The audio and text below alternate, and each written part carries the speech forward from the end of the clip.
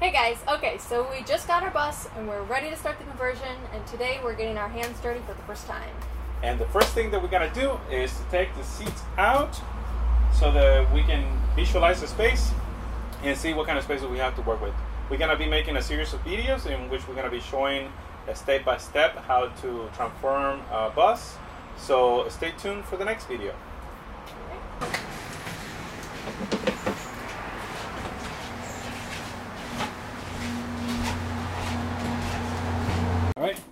Got my toolbox ready. And we're gonna go. To, we're gonna use a wrench.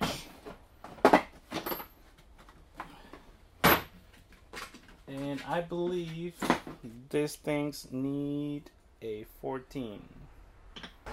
So we're gonna use this 14 cup to remove this. Oh, this one's pretty easy. It's coming out, no problem. It's not always gonna be like that. But Yep. If it doesn't come out easy, then use WD-40 to to make it easier for it to come out. So there you go, pretty easy. Okay, so the reason why this is so easy for us is because we got a bus that, if you look down here, you can see it has this tracking along the floor.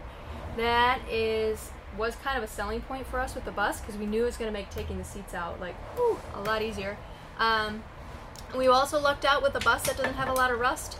Um, see, pretty darn easy.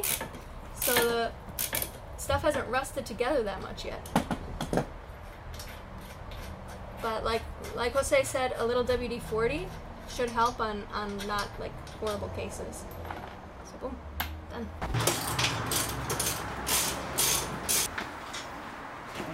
One more to out here. All right, so we are done with the first seat.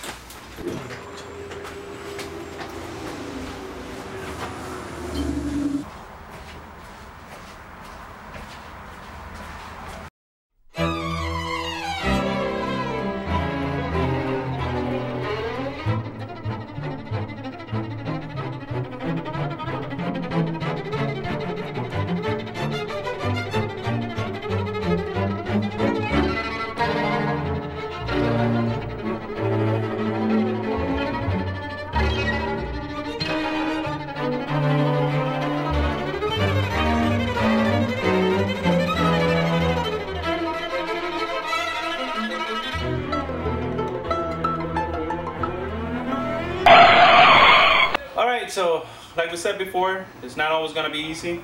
We got a couple of bolts in here that are very stubborn, that don't wanna come out. So we're gonna have to use the power tool. And gotta make sure to be safe, so I'm using my safety goggles. And let's get this, this things out.